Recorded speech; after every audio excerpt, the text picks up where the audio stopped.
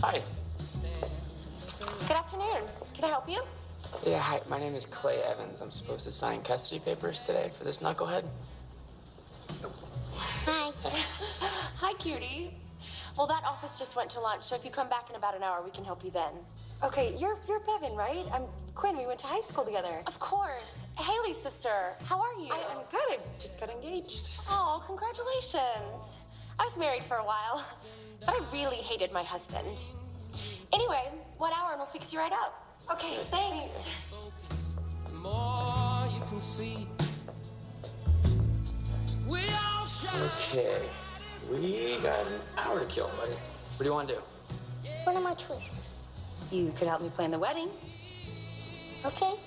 Oh, no. What is happening to him here? Oh, brother, he's fuguing. He probably has no idea who you are or anything about weddings. Week. What's that, huh? Oh, Fugue Logan wants to sneak into court and watch crackheads get sentenced. Cool.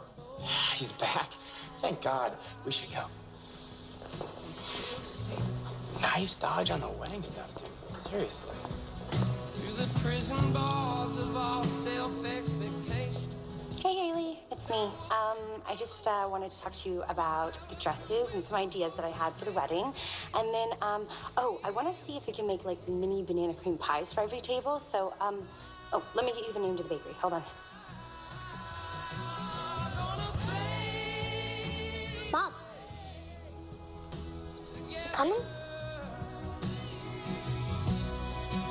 It doesn't matter how you plan it. It doesn't matter how you envision it.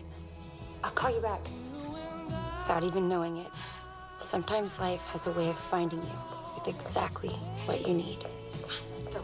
Or exactly who you need. Together.